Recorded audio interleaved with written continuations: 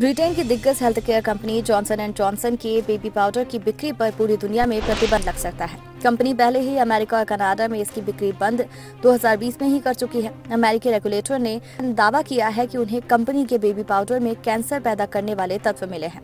इस खुलासे के बाद कंपनी की आफत बढ़ गई। कंपनी के खिलाफ चौतीस हज़ार से अधिक मामले चल रहे हैं। इनमें कई महिलाएँ भी हैं जिनका दावा है कि उन्होंने कंपनी का बेबी पाउडर यूज़ किया और बाद में उन्हें ओवरियन कैंसर हो गया। हालाँकि जॉनसन एंड जॉनसन ने इस बात का खंडन किया है कि उसका बेबी पाउडर नुकसानदायक है।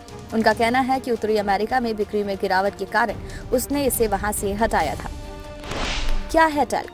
टैल्क दुनिया का सबसे सॉफ्ट मिनरल है। ये कई देशों में बनता है। पेपर, प्लास्टिक्स और फार्मास्यूटिकल सहित कई इंडस्ट्री में इसका व्यापक इस्तेमाल होता है। इसका इस्तेमाल नेपी रैश और दूसरी तरह के पर्सनल हाइड्रीन में होता है। कई बार इसमें एस्बस्टस मिला होता है और जो शरीर में कैंसर पैदा कर सकता है। गार्डियन की एक खबर के मुताबिक दुनिया भर में इसकी बिक्री रोकने के लिए शेयर होल्डर वोट की तैयारी की जा रही है। लंदन में निवेश प्लेटफॉर्म ट्यूलिप शेयर ने इसका प्रस्ताव भी दिया। ये प्रस्ताव अमेरिका की सिक्योरिटी एंड एक्सचेंज कमेटी को भी भेजा गया। उनसे पूछा गया है कि कंपनी की अप्रैल में होने वाली सालाना मीटिंग में पहले ऐसा करना जायज़ है या फिर नहीं।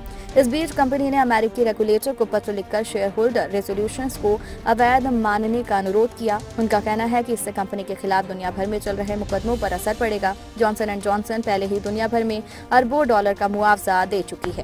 इस तरह की और जानकारी ऐसी अपडेट करने के लिए हमारे चैनल को सब्सक्राइब कर लीजिए।